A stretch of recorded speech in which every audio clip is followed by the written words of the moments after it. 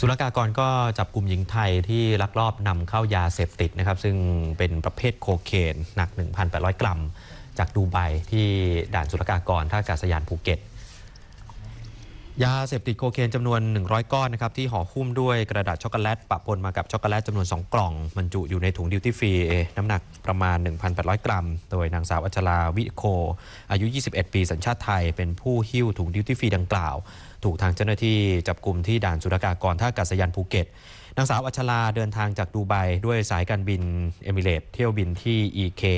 394 นางหัตยาทิพยวัฒน์ในด่านศุลกากรท่าอากาศยานภูเก็ตกล่าวว่า ผู้ต้องหาให้การรับสารภาพ โดยก่อนการจับกลุ่มนะครับก็มีข่าว